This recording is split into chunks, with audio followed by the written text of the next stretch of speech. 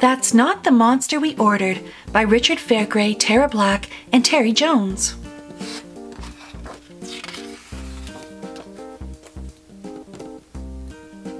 I remember the day Tommy Turner's family got their very own monster. Everyone had been talking about monsters, but none of us actually knew anyone who had one. So we were very excited.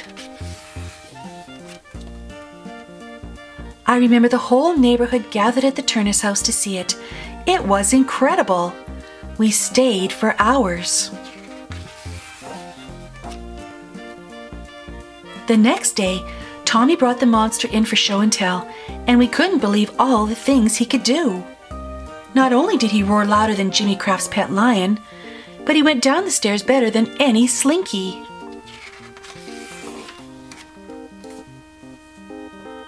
Plus, he carried all of us home so we could spend our bus money on popping candy.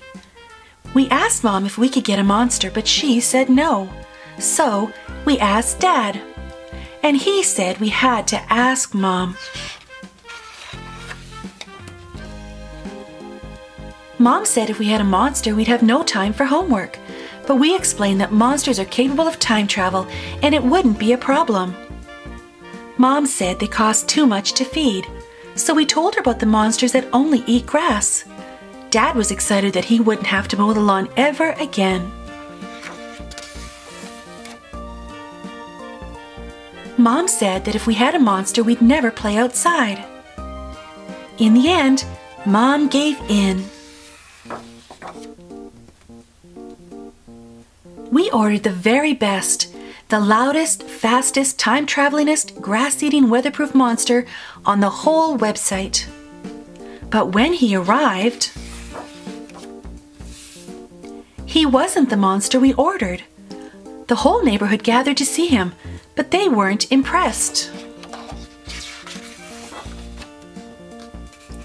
The Turner's monster did all sorts of tricks. Our monster just tapped Dad on the shoulder and giggled a lot. The Turner's monster painted their house. Our monster put a firecracker in a paint can.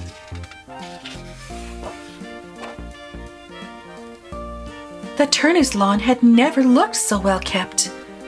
Our monster could eat grass too, but it upset his tummy. Mom wanted to send him back. Dad wanted to send him back. But when it came time to put him back in his box, we just couldn't do it. Because it doesn't matter what your neighbors have or how fun their monster might seem. Sometimes the monster you order and the monster you get might not be the same. But sometimes that's even better because the monster might be just the monster you need.